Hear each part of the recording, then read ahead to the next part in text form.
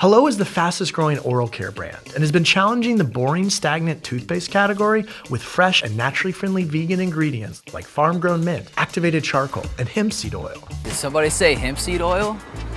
Even their crinkle free package design is sexy, at least for toothpaste. So, how does a new upstart toothpaste brand introduce themselves to younger brushers and raise awareness in their crowded major markets like New York City?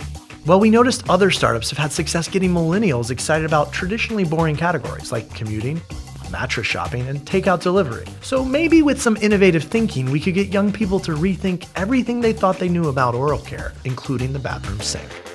Say hello to Spyt, powered by Hello. It's on demand mobile mouth care.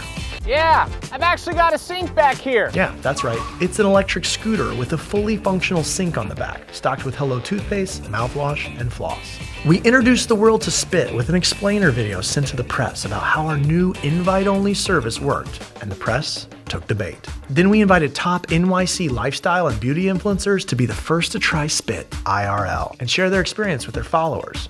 People were excited, confused, and weirdly eager to brush their teeth in public for the first time. Early adopters could sign up to get on our waiting list to be the first to use Spyt when it rolled out in their city.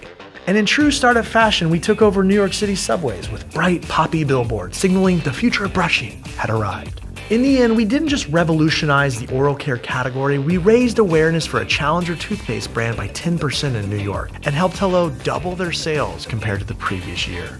And in a city that's not exactly known for being friendly, that's a whole lot more people saying hello.